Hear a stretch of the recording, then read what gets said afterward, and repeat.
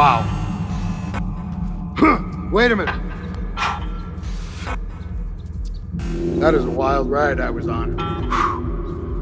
I am so stoned right now. Shit.